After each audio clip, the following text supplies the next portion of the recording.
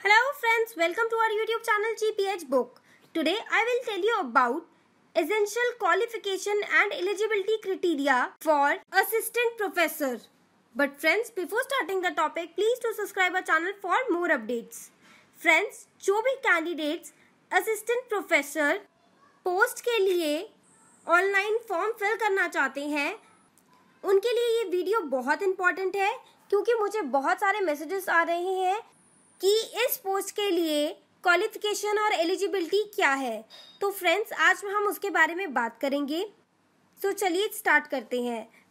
Friends इस course के लिए मिनिमम जो रिक्वायरमेंट है, वो है master degree with minimum 55 percent और ऑनलाइन एप्लीकेशन फॉर्म फिल करने के बाद आपको एक national eligibility test N conduct होगा जो कि यूजीसी और सी आई आर के अंडर वो आपको क्लियर करना होगा।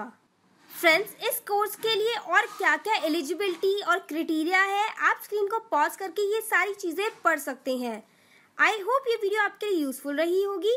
हमारी next video how to fill online application form for assistant professor देखना ना भूलें। और फ्रेंड्स अगर आपको ये वीडियो अच्छी लगी है तो प्लीज़ इस वीडियो को लाइक और शेयर ज़रूर करें। और अगर आपको इग्नोस रिलेटेड कोई भी क्वेरी है तो कमेंट बॉक्स में ज़रूर कमेंट करें।